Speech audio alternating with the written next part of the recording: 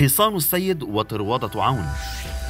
لم يعد هناك من يشاغب ضد رئيس التيار الوطني الحر النائب جبران باسيل سوى القوات اللبنانية بعدما سدت سبل الاتكال على الشريك في تفاهم مار مخايل. وآخر ما تبلغه باسيل من الشريك أي حزب الله أن جسور الحوار باتت مقطوعة بين الشريكين في الوقت الراهن ومن العبث رفع وتيرة الانتقاد كما فعل باسيل.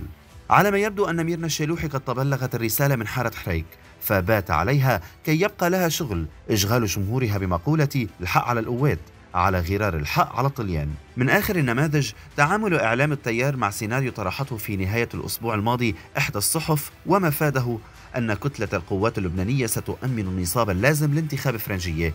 كما تحدثت الصحيفة عن تحضيرات جدية لأن يستقبل الأمين العام لحزب الله السيد حسن نصر الله النائب جبران باسيل للبحث في الخيارات الرئاسية وإمكان تقديم ما يمكن لباسيل في ضوء تمسك حزب الله بترشيح فرنجية. في المقابل وعلى الرغم من نفي القوات ما يخصها في هذا السيناريو تجاهل إعلام التيار ما يخصه في السيناريو أي لقاء السيد بباسيل.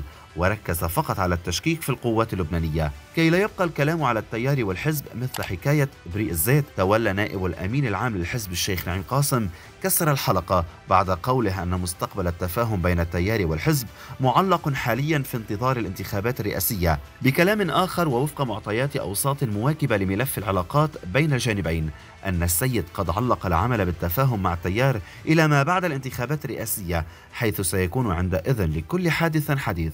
ماذا يعني هذا التطور في علاقات حزب الله مع التيار التي لديه الكتلة البرلمانية الثانية الأكثر عددا مسيحيا في البرلمان بعد كتلة الجمهورية القوية التي تمثل القوات اللبنانية في المجلس النيابي؟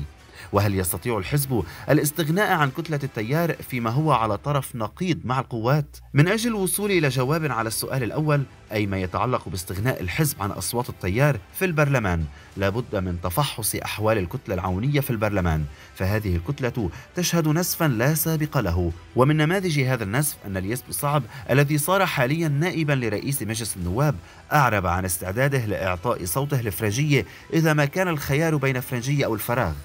موقف النائب بوصعب ليس وحده ما يجب أن يقلق التيار بل هناك أكثر من بوصعب يستعد للنزول من مركب التيار عندما يقرر الحزب الاستنفار في الشوط النهائي في السباق الرئاسي. وفق معلومات أوساط إعلامية مستقاة من قيادي بارز ضمن الحلقة الضيقة حول السيد أن الخطة باء بعد تعليق العمل بتفاهم مرم خايل والتي هي قيد العمل حاليا هي التعامل مع التيار بالمفرق. أي أن هناك أكثر من نائب في كتلة التيار يجري العمل على تحضيرهم.